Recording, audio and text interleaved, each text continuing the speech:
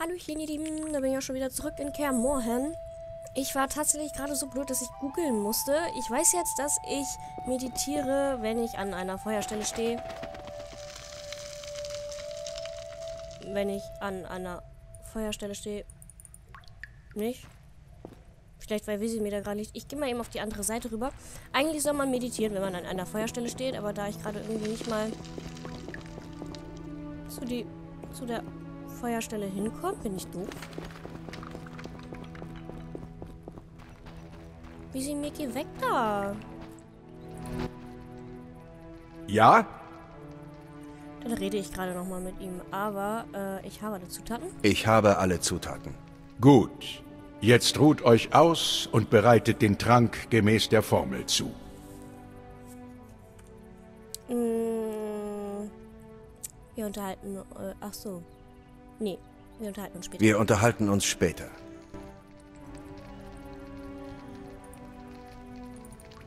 Ich will an die Feuerstelle. Warum kann ich nicht an die Feuerstelle? Jetzt geht's.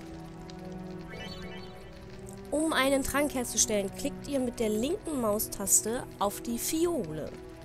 Okay.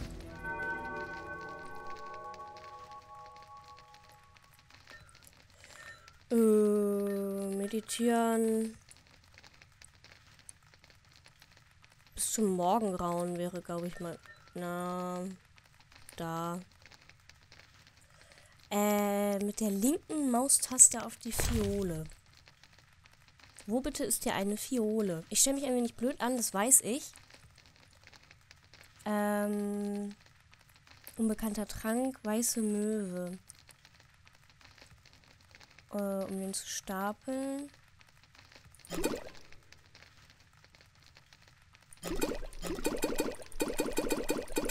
Ich linksklicke. Was ist das hier? Trophäenfach. Fach für ungeheuer angenehm. Ah, ah. Fach für ein Gerät. Ah, das. Ach, jetzt habe ich das Schnellfach gefunden. Äh, Silberschwertfach. Ring- und Siegelfach. Kurzwaffenfach. Okay. Wo ist eine Fiole? Seht ihr hier irgendwo eine Fiole? Ich weiß, ich stelle mich echt, echt blöd an. Muss ich erst starten? Hm? Nein, ich glaube nicht. Ich befürchte nicht.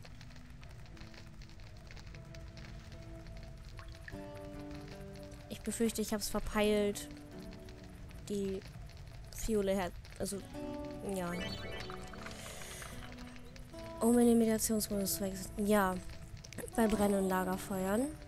Mache ich. Aber... Wie stelle ich das denn jetzt... Ah, boah, ich bin auch blöd. Entschuldigung, Leute, Entschuldigung.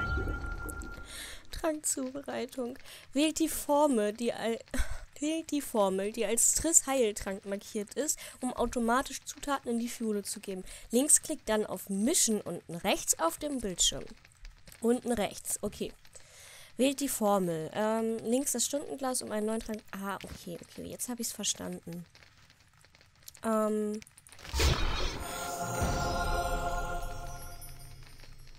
Mischen. Muss ich nicht mehr mischen? Ich dachte, ich muss mischen. Hier sagt... Au. Ach so, weil ich Doppelklick gemacht habe. Gut, dann mache ich eine Stunde Meditation. Ist ja auch nicht so, als hätten wir gerade schon die ganze Nacht irgendwie meditiert oder so. Nein, weil ich mich ein bisschen zu blöd angestellt habe. So, weil jetzt haben wir nämlich die neue Aufgabe. Äh, ich sollte den Trank zu Triss bringen, die sich in ihrem Raum im oberen Stockwerk auffällt. Na, immerhin hat es funktioniert. Das ist doch schon mal etwas. Und irgendwie renne ich gerade in die falsche Richtung. Ja. Muss ich durch die... Ich gehe mal durch die Küche. Entschuldigung. Huch. Im oberen... Ach, im oberen Stockwerk. Okay, ich muss hochgehen. Lalalala. Eine tolle Treppe. Also Alchemie ist, glaube ich, echt nicht so meins. Ich bin froh, dass ich das ausgewählt habe, dass es... Ähm, dass ich nicht unbedingt Alchemie zum Überleben brauche, weil ich befürchte, dann könnte das Überleben schwierig werden. Ist das Tristzimmer? Nein, es ist das falsche Zimmer. Es ist das falsche Zimmer. Es ist das falsche Zimmer, glaube ich, oder? Ja, doch, es ist das falsche Zimmer.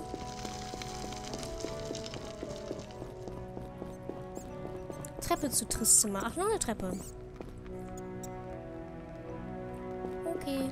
Ach, okay. Oh. Ja, Mensch. Wenn schon, dann ein Luxuszimmer. Aber sie befindet sich, glaube ich, oben. Sie befindet sich oben. Also, beziehungsweise da mussten wir ganz schnell mal eben hin teleportieren. Nicht? Guck mal, doch, da befindet sie sich. Aber wir können uns ja umsehen. Hammelbein. Regeneriert Vitalität. Ich glaube, das nehme ich einfach mal mit. Stört ja irgendwie keinen, ne? Oder? Stört das irgendwen, wenn ich hier was mitnehme? Ein Trank.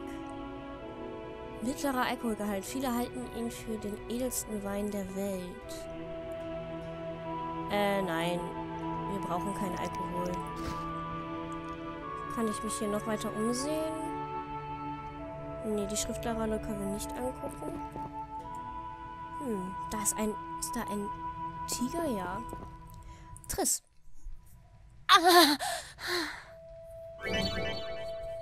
Doppelklickt auf Heiltrank, um ihn Triss zu verabreichen. Tipp gewinnt das Wohlwollen anderer Charaktere, indem ihr, ihr indem ihr ihnen Geschenke macht. Oh, okay. Ach, okay, dafür muss ich ins Inventar und dann auf den Heiltrank klicken. Ah. Ich bin wieder da. Ich bin bald wieder da. Oh, oh. Nee, ich habe das bald überlesen. Ah.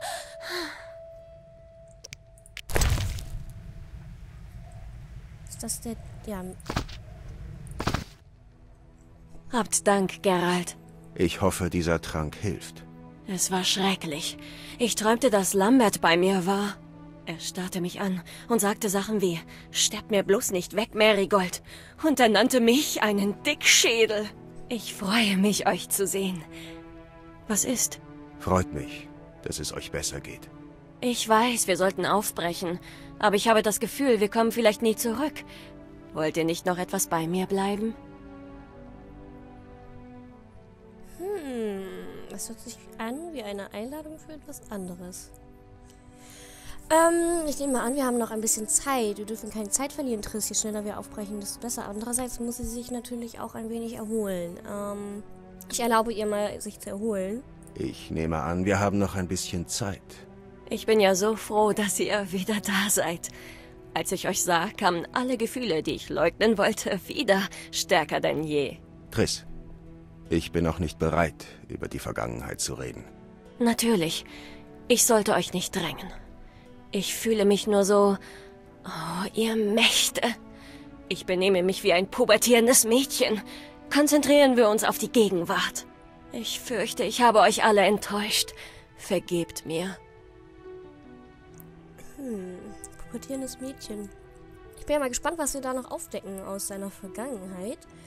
Äh, es ist nicht eure Schuld, ihr habt uns geholfen. Jeder macht Fehler, gehen wir zurück. Nein, es ist echt nicht ihre Schuld. Es ist nicht eure Schuld. Ihr habt uns geholfen. Es gibt nichts zu vergeben. Was ich empfand, als ich erfuhr, dass ihr lebt, ich wüsste nichts Vergleichbares. Ausgenommen vielleicht, was ich empfinde, wenn ich euch ansehe. Ich habe euch ja so vermisst. Mal sehen, ob das beste Bett in Kermorhen uns aushalten kann.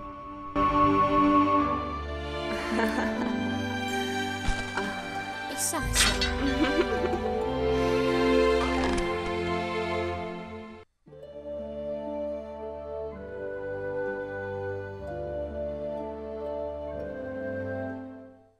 Es war mir ein Vergnügen, wie immer. Wie immer? Ihr erinnert euch wirklich an nichts? Bedauerlicherweise. Nun, dann habt ihr etwas, worauf ihr euch freuen könnt. Wie auch immer. Erzählt mir, wie ging der Kampf aus? Sie brachen in das Labor ein, töteten Leo, stahlen unsere Mutagene und entkamen. Armer Wesemir. Wieder ein Schützling, der vorzeitig starb.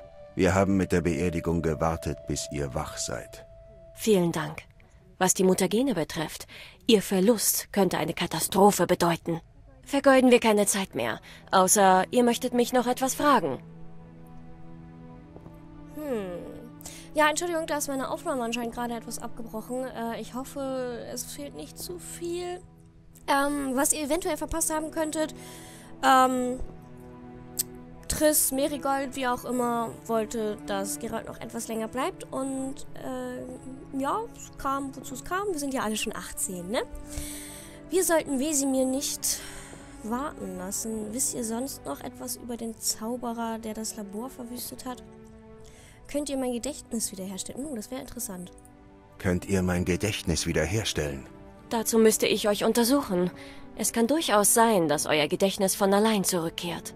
Wie groß ist die Chance? Das ist schwer zu sagen. Hilfreich wäre, wenn ich wüsste, was den Gedächtnisverlust ausgelöst hat.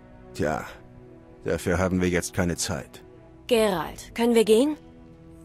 In, ähm, der Diebstahl. Der Diebstahl. Welche Folgen könnte er haben? Die meisten Zauberer und Herrscher würden ihre habgierigen, machthungrigen Seelen verkaufen, um an diese Mutagene zu kommen. Nur ein Meister der arkanen Künste kann etwas mit diesem Wissen anfangen. Von ihnen gibt es nicht mehr viele. Was ist mit wohlhabenden Kaufleuten, Herzögen, Königen? Vielleicht. Alles ist denkbar. Aber wir vergeuden nur Zeit mit derlei Spekulationen. Wir haben einfach nicht genug Informationen. Stimmt. Gerald, können wir gehen? Ja, ja, wir können gehen. Wir sollten Wesemir nicht warten lassen. Dann kommt. Außenbereich von Kermohen. Mensch, das Mädel dringt aber ganz schön. Und einen großen Ausschnitt hat sie noch dazu.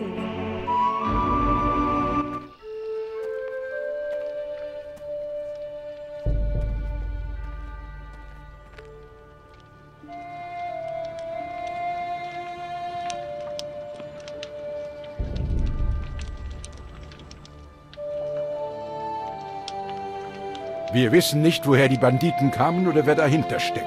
Als Gruppe erregen wir nur Aufmerksamkeit. Außerdem können wir ein größeres Gebiet absuchen, wenn wir uns trennen.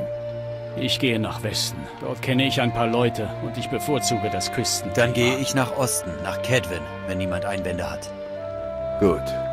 Wohin sollte ich gehen? Nach Süden, nach Temerien. König Foltest steht in eurer Schuld. Vor einiger Zeit habt ihr einen Fluch von seiner Tochter genommen. Vielleicht stoßt ihr dort auf die Fährte der Banditen. Und ihr, Triss? Ich werde meinen Einfluss nutzen, um die Banditen zu finden. Wenn ich etwas erfahre, nehme ich mit Gerald Verbindung auf.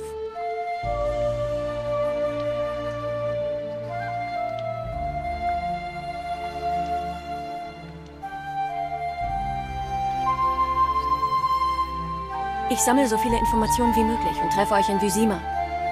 Triss. Nicht, Gerald. Ich hasse Abschiede. Ich muss dann weinen und es gibt nichts Jämmerlicheres als eine weinende Zauberin.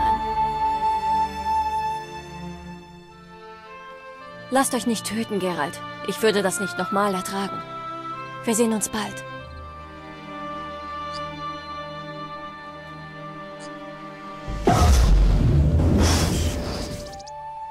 Auf bald,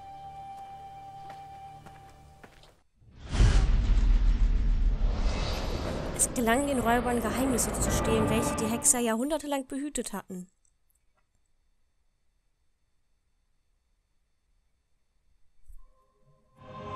Ihr Anführer, ein sirikanischer Magier, erwies sich selbst für Trismerigold zu mächtig. Die Hexer begaben sich auf die Suche nach den gestohlenen Geheimnissen und brachen alle Himmelsrichtungen auf. Gerald von Riva ging südwärts nach Rüsima.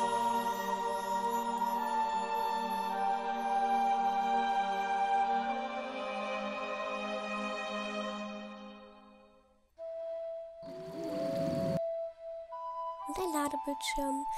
Irgendwie scheint die Aufnahme immer nicht so ganz mit, ähm, mit diesen Sequenzen klarzukommen. Ähm, es werden also ein paar Schnitts drin sein. Ich hoffe, das ist nicht allzu schlimm.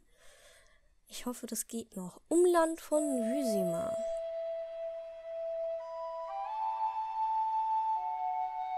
Und ja, ich nehme mit Fraps auf, also eigentlich sollte es nicht so das Problem sein. Caroline, ich bin müde. Es ist nicht mehr weit. Wir sind bald da.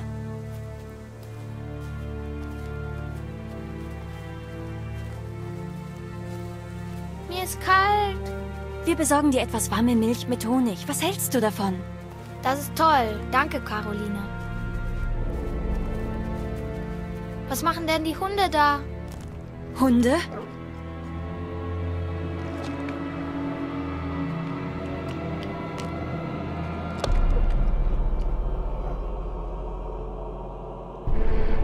Alvin, mach genau, was ich dir sage. Das ist wichtig. Lauf so schnell du kannst zum Gasthaus und schau nicht zurück. Verstanden? Das sind böse Hunde. Lauf!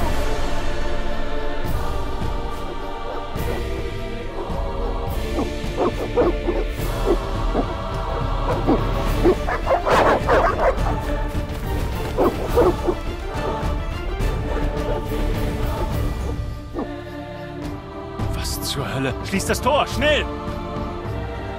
Die Bestie! Die Bestie greift an! Gebt Alarm!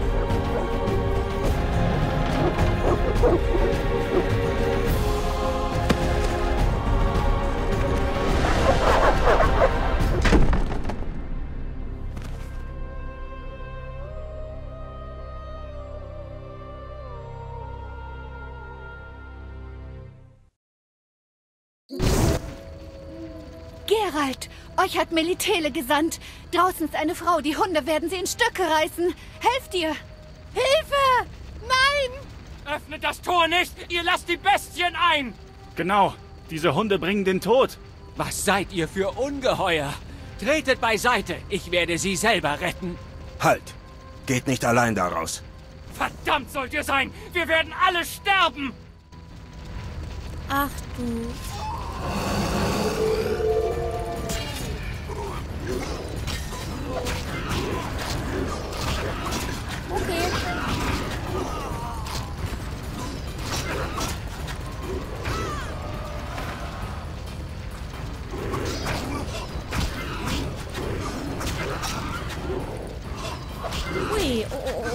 Verlieren ein wenig an, an Gesundheit.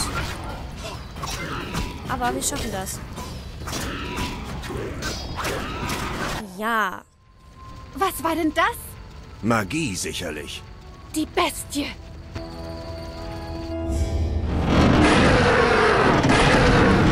Gerald, seht! Das Zeitalter von Schwert und Axt rückt näher. Das Zeitalter des weißen Frosts und weißen Lichts. Das Zeitalter von Wahnsinn und Verachtung. Het Derea, das letzte Zeitalter.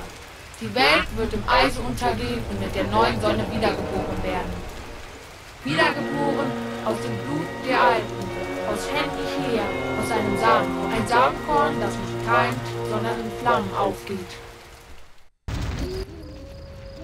Die alte Elfenprophezeiung von Itlina.